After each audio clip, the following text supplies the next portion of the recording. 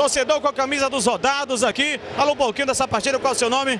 Meu nome é João, rapaz. A partida hoje vai ser muito dura, viu? Vai torcer pra quem? Eu acredito que quem vai ganhar aí é o Civil. É o Civil. É o Civil. É o Civil.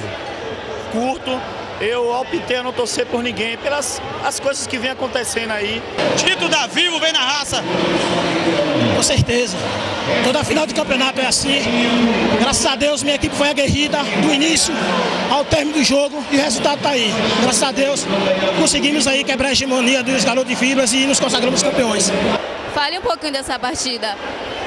É, foi uma partida muito pegada, um jogo muito grande, muito importante, mas infelizmente a gente não saiu com a vitória. Faltando 40 segundos tomamos um gol infantil, besta, mas acontece.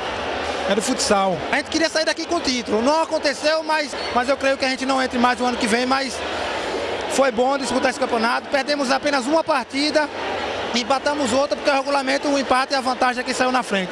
A Vivo deu uma, uma subida e conseguiu o título. É isso aí, é por isso que o futebol, o futsal é emocionante.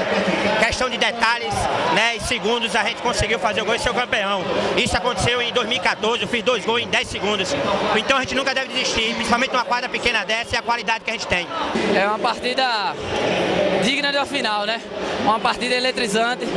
Tivemos aí por pouco com a taça na mão, mas deixamos no finalzinho escapar. Infelicidade. Né? Um pouquinho desse título agora, David. É, primeiramente a gente tem que agradecer a Deus. É, foi um bom jogo. Parabenizar a equipe da de Fibra, é, que teve mérito, chegou na final. E foi um espetáculo brilhante aqui para a torcida. É, graças a Deus eu consegui mais um título aqui no futsal. Acho que eu tô com esses esse cinco anos aí, eu tô tendo um currículo invejável aqui no futsal. Cinco finais consecutivas, eu tenho três títulos, dois vices. Mas é assim mesmo. Vou continuar trabalhando. Próximo ano tem mais aí, que fé em Deus. Vamos montar outra boa equipe aí para chegar na final. Agora é só comemorar.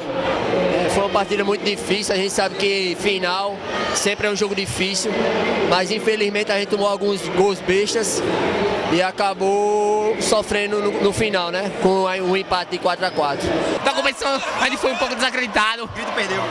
A gente. Olha a emoção do Banjo! Não sabia agora falar pra ele, não. Perdeu!